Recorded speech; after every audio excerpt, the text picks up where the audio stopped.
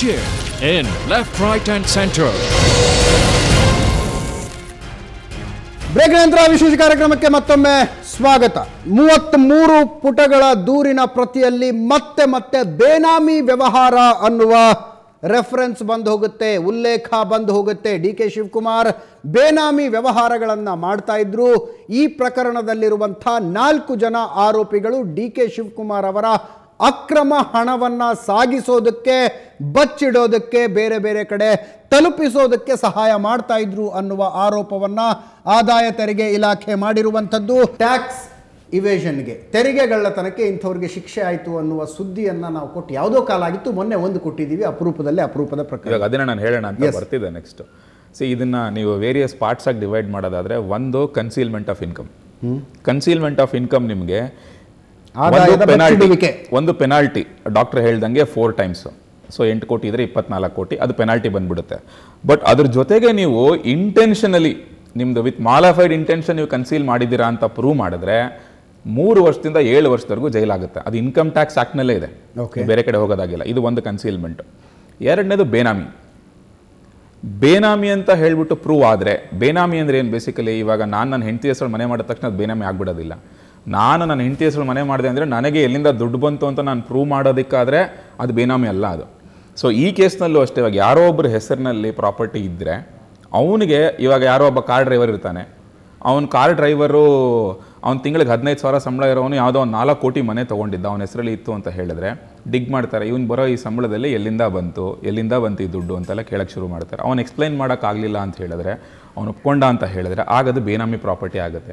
So benami property ಆದಾಗ ಒಂದು ಅದನ್ನು ಸರ್ಕಾರ ಫರ್ಫಿಟ್ ಮಾಡ್ಕೊಂಡು ಅಟ್ಯಾಚ್ ಮಾಡ್ಕೊಳ್ಳುತ್ತೆ. ಜೊತೆಗೆ ಅದು ಯಾರ್ದು ಬೇನಾಮಿ ಅಂತ ಪ್ರೂವ್ ಆದರೆ ಅಲ್ಲೂ ಅಷ್ಟೇ ಮೂರರಿಂದ ಏಳು ವರ್ಷದವರೆಗೂ ಇಂಪ್ರಿಸನ್ಮೆಂಟ್ ಇದೆ. ಓಕೆ ನೆಕ್ಸ್ಟು ಮೂರನೇದು ಮೂರನೇದಕ್ಕೆ ಬಂದರೆ ಹವಾಲಾ ಈ ಕೇಸ್ನಲ್ಲಿ. ಸೊ ಹವಾಲಾ ಬಂದು ಸಿಕ್ಕಾಪಟ್ಟೆ ದೊಡ್ಡ ಅಫೆನ್ಸ್ ಅದು. ಎಂಟೈರ್ ವರ್ಲ್ಡಲ್ಲಿ ಬರೀ ನಮ್ಮ ದೇಶದಲ್ಲಿ ಒಂದರಲ್ಲೇ ಅಲ್ಲ ಅದು. ಸೊ ಹವಾಲಾನ ಸಿಂಪಲ್ ವರ್ಡಲ್ಲಿ ಹೇಳಬೇಕು ಅಂದರೆ ಇಲ್ಲೀಗಲ್ ಬ್ಯಾಂಕಿಂಗ್ ಸಿಸ್ಟಮ್ ಓಕೆ ಅಷ್ಟೇ illegal banking parallel banking parallel banking so basically ಇವಾಗ ನಾನು ನಿಮ್ಮ ಅಕೌಂಟಿಗೆ ದುಡ್ಡು ಟ್ರಾನ್ಸ್ಫರ್ ಮಾಡಬೇಕು ಅಂತ ಹೇಳಿದ್ರೆ ಎನ್ ಇ ಎಫ್ ಟಿ ಮಾಡ್ತೀನಿ ಆರ್ ಟಿ ಜಿ ಎಸ್ ಮಾಡ್ತೀನಿ ಚೆಕ್ ಮಾಡ್ತೀನಿ ಒಂದು ಟ್ರೇಸಬಿಲಿಟಿ ಇರುತ್ತೆ. ಎಲ್ಲಿಂದ ಬಂತು ಎಲ್ಲೋಯ್ತು ಅಂತ ಹೇಳಿಬಿಟ್ಟು ಎಲ್ಲ ಕಡೆ ಲೆಕ್ಕ ಸಿಗ್ತಾ ಇರುತ್ತೆ. ಬಟ್ ಹವಾಲಾದಲ್ಲಿ ನಿಮಗೆ ಏನು ಲೆಕ್ಕ ಸಿಗೋದೇ ಇಲ್ಲ ಅದು. ಸೊ ಪಾರ್ಲಲ್ಲಿ ಎಲ್ಲೋ ಬಂದು ಎಲ್ಲೋ ಹೋಗ್ಬಿಟ್ಟಿರುತ್ತೆ. ಸೊ ಈ ಹವಾಲಾ ತುಂಬ ಇಲ್ಲಿಗಲ್ ಆ್ಯಕ್ಟಿವಿಟೀಸ್ಗೆ ಯೂಸ್ ಆಗ್ತಾ ಇದೆ. ಟೆರರಿಸಮ್ಗೆ ಆಗ್ಬೋದು ಪೊಲಿಟಿಕಲ್ ಫಂಡಿಂಗ್ ಆಗ್ಬೋದು, ಅಥವಾ ಬೇರೆ ಇನ್ಯಾವುದೋ ವಿಚಾರಕ್ಕೆ ಆಗ್ಬೋದು. ಸೊ ಆ ಹವಾಲಾ ಪ್ರೂವ್ ಆದರೆ ನಿಮಗೆ ಮನಿ ಲಾಂಡ್ರಿಂಗ್ ಆ್ಯಕ್ಟಲ್ಲೂ ಅಷ್ಟೇ ಏಳು ವರ್ಷದವರೆಗೂ ಇಂಪ್ರಿಸನ್ಮೆಂಟ್ ಇದೆ ಡೈರೆಕ್ಟಾಗಿ ಸೊ ಈ ಥರ ನೀವು ಮೂರು ಬಕೆಟ್ ಹಾಕಿ ನೋಡಿದಾಗ ನಿಮಗೆ ಮೂರು ಕೇಸಲ್ಲೂ ನಿಮಗೆ ಪೆನಾಲ್ಟಿ ಜೊತೆಗೆ ಇಂಪ್ರಿಸನ್ಮೆಂಟ್ ಮೂರರಲ್ಲೂ ಇದೆ.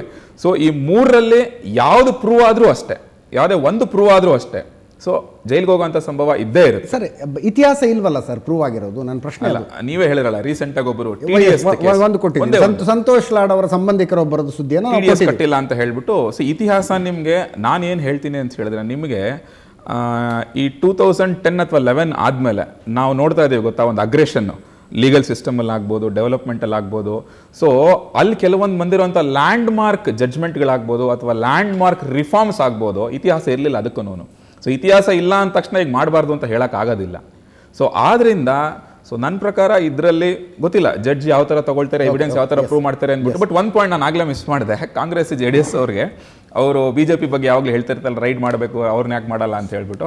ಒಂದು ವರ್ಷದ ಮುಂಚೆಯಿಂದ ನಾನು ಸೆಂಟ್ರಲ್ ಗೌರ್ಮೆಂಟಿಂದ ಹೇಳ್ತಾ ಇದ್ದಾರೆ ಐ ಟಿ ಡಿಪಾರ್ಟ್ಮೆಂಟ್ ಅವರು. ನಿಮ್ಗೆ ಯಾರ ಮೇಲಾದರೂ ಡೌಟ್ ಇದ್ದರೆ ನೀವು ಇನ್ಫಾರ್ಮೇಷನ್ ಕೊಡಿ. ನಾವು ರೈಡ್ ಮಾಡ್ತೀವಿ ಅಂತ ಹೇಳ್ಬಿಟ್ಟು. ಒಂದು ತಿಂಗಳು ಮುಂಚೆ ಇನ್ಫಾರ್ಮೇಷನ್ ಕೊಟ್ಟವ್ರಿಗೆ ಒಂದು ಕೋಟಿ ರಿವಾರ್ಡ್ ಅಂತಲೂ ಅನೌನ್ಸ್ ಮಾಡಿದ್ರು. ಆ ಥರ ಇದ್ರೆ ಇನ್ಫಾರ್ಮೇಷನ್ ಕೊಡಿ. ನಿಮಗೆ ಆಯ್ತು ಯಡಿಯೂರಪ್ಪನವ್ರ ಮೇಲೆ ಡೌಟ್ ಇದೆಯಾ? ಕೊಡಿ ನಾಳೆ ಇನ್ಫಾರ್ಮೇಷನು ಶೋಭಾ ಕರಂದ್ಲಾಜೆ ಅವ್ರ ಮೇಲೆ ಡೌಟ್ ಇದೆಯಾ? ಕೊಡಿ ನಾಳೆ ಇನ್ಫಾರ್ಮೇಷನ್ ನರೇಂದ್ರ ಮೋದಿ ಅವ್ರ ಮೇಲೆ ಡೌಟ್ ಇದೆಯಾ? ಕೊಡಿ ನಾಳೆ ಇನ್ಫಾರ್ಮೇಷನ್ ಯಾರ ಮೇಲೆ ಡೌಟ್ ಇದೆ ಅವ್ರ ಮೇಲೆ ಇನ್ಫಾರ್ಮೇಷನ್ ಕೊಡಿ. ನಿಮಗೆ ರಿವಾರ್ಡು ಸಿಗುತ್ತೆ.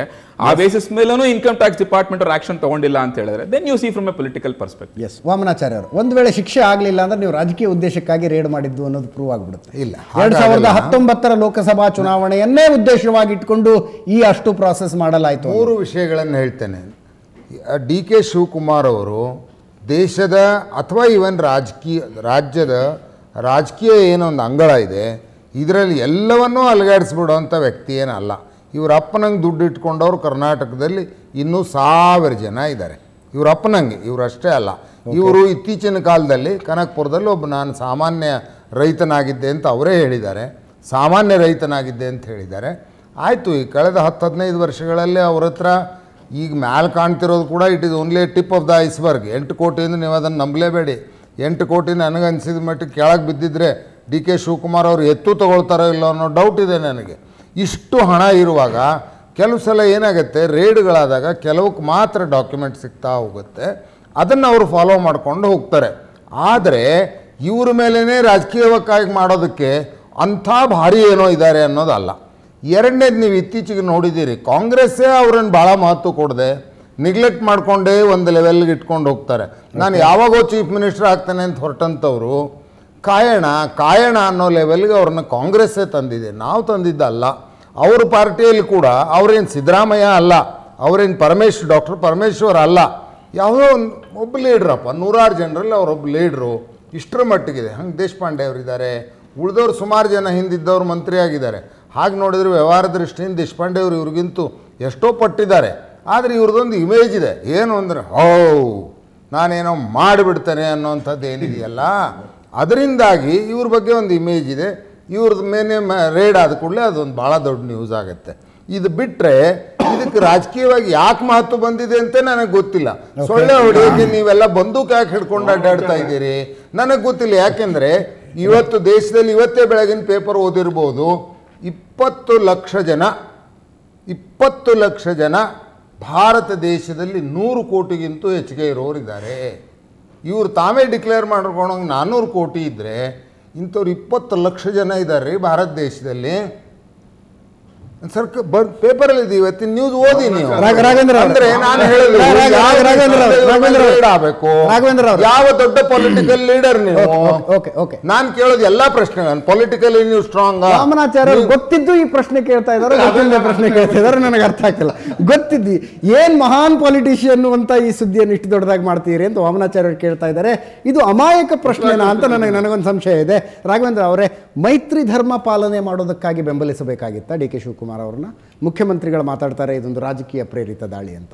ಇಲ್ಲ ಇಲ್ಲ ಈ ಮುಂಚೆನೂ ನಾವು ಅದನ್ನೇ ಮಾತಾಡಿದ್ವಿ ಮೈತ್ರಿ ಧರ್ಮ ಆಗೋದಕ್ಕಿಂತ ಮುಂಚೆನೂ ವಿರೋಧ ಪಕ್ಷಗಳ ಮೇಲೆ ಬಿಜೆಪಿ ನಡೆಸ್ತಾ ಇರ್ತಕ್ಕಂಥ ಬ್ರಹ್ಮಾಸ್ತ್ರ ಇದು ಅಂತ ಸರ್ ಅವಾಗ ಅವಾಗ. ಡಿ ಕೆ ಶಿವಕುಮಾರ್ ಅವರ ಬೇನಾಮಿ ಆಸ್ತಿಗಳ ಬಗ್ಗೆ ಕೂಡ ಮಾತಾಡಿದ್ರಿ. ಈ ಮುಂಚೆ ರಾ- ರಾಜ್ಯ ರಾಜಕಾರಣವನ್ನು ಮೇ. ಹದಿನೈದರ ನಂತರದ ರಾಜಕಾರಣ ಮತ್ತು ಮುಂಚಿನ ರಾಜಕಾರಣ ಅಂತ ನೋಡೋದ್ರಲ್ಲಿ ಬಿಜೆಪಿ ವಿರೋಧ ಪಕ್ಷಗಳ ಮೇಲೆ ನಡೆಸ್ತಾ ಇರ್ತಕ್ಕಂಥ ಬ್ರಹ್ಮಾಸ್ತ್ರ ಅಂತಕ್ಕಂಥದ್ದನ್ನು ನಾವು ಹಿಂದೆನೂ ಮಾತಾಡಿದ್ದೀವಿ, ಈಗಲೂ ಅದನ್ನೇ ಮಾತಾಡ್ತಾ ಇದ್ದೀವಿ. ನಾ, ನಮ್ಮ ಆ ಸ್ಟ್ಯಾಂಡಲ್ಲಿ ಆ ಸ್ಟ್ಯಾಂಡಲ್ಲಿ ಏನೂ ವ್ಯತ್ಯಾಸ ಇಲ್ಲ, ಆ ಸ್ಟ್ಯಾಂಡಲ್ಲಿ. ಇವತ್ತಿನ ದಿವಸ ಏನು ಮೈತ್ರಿ ಧರ್ಮ, ಮೈತ್ರಿ ಸರ್ಕಾರ ಅದೇನಿದ್ರು ಇವತ್ತಿನ ದಿವಸ ಏನು ಅವರು ಕಾನೂನಿನ ಪ್ರಕಾರವಾಗಿ ಅವ್ರು ಏನನ್ನು ಅವರು ಫೇಸ್ ಮಾಡಬೇಕಾಗುತ್ತೋ ಅವರು ಫೇಸ್ ಮಾಡ್ಕೋತಾರೆ ಇಂಡಿವಿಜುವಲ್ ಆಗಿ. ಸರ್ಕಾರಕ್ಕೂ ಅದಕ್ಕೂ ಸಂಬಂಧ ಬರೋದಿಲ್ಲ. ಕುಮಾರಸ್ವಾಮಿಗೂ ಅದಕ್ಕೂ ಸಂಬಂಧ ಬರೋದಿಲ್ಲ. ಹಾಗಾಗಿ ಅವ್ರು ಅದನ್ನು ಫೇಸ್ ಮಾಡ್ಕೋತೀನಿ ಅಂತ ಹೇಳಿದರೆ, ಅವರು ಫೇಸ್ ಮಾಡ್ಕೋತಾರೆ. ನಾಳೆ ನಾಳೆ ದಿನ ಇಂಥದೊಂದು ಗಂಭೀರ ಆರೋಪ ಹೊತ್ಕೊಂಡಿರೋರ್ನ ಸಚಿವ ಸಂಪುಟದಲ್ಲಿ ಹೆಂಗ್ ಇಟ್ಕೊಳ್ತೀವಿ ಪ್ರಶ್ನೆ ಈ ಹಿಂದೆ ಎಷ್ಟು ಜನರ ಮೇಲೆ ಈ ರೀತಿಯಾದಂತ ಆರೋಪ ಬಂದವರೆಲ್ಲರೂ ಬಿಜೆಪಿ ಪಕ್ಷ ಇದನ್ನೇ ನಾನು ಸಮರ್ಥನೆ ಅಂತಿದ್ದು ಸರ್ ಇದನ್ನೇ ಮೈತ್ರಿ ಧರ್ಮ ಪಾಲನೆ ಅಂತ ಕೊಟ್ಟಿದ್ದಾರಾ? ಅಲ್ಲ ಇದನ್ನೇ ನಾನು ಮೈತ್ರಿ ಧರ್ಮ ಪಾಲನೆ ಅಂತ ಕೊಟ್ಟಿದ್ದಾರೆ? ಮೈತ್ರಿ ಧರ್ಮ ಪಾಲನೆ ಅಂತ. ಇದನ್ನೇ ಈಗ ಆ ಒಂದು ನಿಟ್ಟಿನಲ್ಲಿ ನೋಡೋದಾದ್ರೆ ಇವತ್ತಿನ ದಿವಸ ಎಷ್ಟೋ ಜನ ಎಲ್ಲಾ ಕಡೆನೂ ಇಡೀ ದೇಶದಾದ್ಯಂತ ನಾವು ಲೆಕ್ಕ ಹಾಕೊಳಕ್ ಹೋದ್ರೆ ಎಷ್ಟೋ ಜನ ಪೊಲಿಟಿಷಿಯನ್ಸ್ ರಾಜೀನಾಮೆ ಕೊಟ್ಟು ಹೊರಡಬೇಕಾಗುತ್ತೆ. ಬಿಜೆಪಿ ಅವರನ್ನೇ ಎಷ್ಟೋ ಜನ ವ್ಯಾಪ ಹಗರಣದಿಂದ ಹಿಡಿದು ಮಧ್ಯಪ್ರದೇಶದ ವ್ಯಾಪ ಹಗರಣದಿಂದ ಹಿಡಿದು ರಾಜಸ್ಥಾನದಿಂದ ಹಿಡಿದು ಪ್ರತಿಯೊಂದು ದೇಶದಿಂದ ಹಿಡಿದು ರಾಜ್ಯಗಳಿಂದ ಹಿಡಿದು ನೋಡಿದ್ರೆ ಹಂಗೆ ಬರಬೇಕಾಗುತ್ತೆ. ಅದರಿಂದಾಗಿ ಸ್ಟ್ಯಾಂಡ್ ಬದಲಾವಣೆ ಇಲ್ಲ ಅಂತ ಹೇಳಿದ್ರಲ್ಲ ನೀವು ಈ ಈ ರೇಡ್ಗಳಾದಂಥದ್ದು ಈ ಹಿಂದೆ ಕಾಂಗ್ರೆಸ್ ಸರ್ಕಾರ ಇದ್ದಾಗ ಆಗ ನೀವು ನೀವು ಕಾಂಗ್ರೆಸ್ನವರು ಶರಂಪರ ಕಿತ್ತಾಡ್ಕೊಳ್ತಿದ್ರಿ. ರೇಡ್ ನಡೆದಾಗ ತಮ್ಮ ಪ್ರತಿಕ್ರಿಯೆಯನ್ನು ಕೇಳಿದ್ರೆ ಇದು ರಾಜಕೀಯ ಪ್ರೇರಿತ ದಾಳಿ. ಆದರೂ ಕೂಡ ಡಿ ಕೆ ಶಿವಕುಮಾರ್ ಬೇನಾಮಿ ಆಸ್ತಿ ಮಾಡಿದ್ದಾರೆ ಅದು ಹೊರಗೆ ಬರಬೇಕು ಅನ್ನೋ ಮಾತನ್ನ ಮುಖ್ಯಮಂತ್ರಿಗಳು ಹೇಳಿದರು. ನನಗೊಂದು ಸಣ್ಣ ಬ್ರೇಕ್ನ ಸಮಯ ಆಗಿದೆ. ಬ್ರೇಕ್ ಮುಗಿಸ್ಕೊಂಡು ವಾಪಸ್ ಬರ್ತೀನಿ.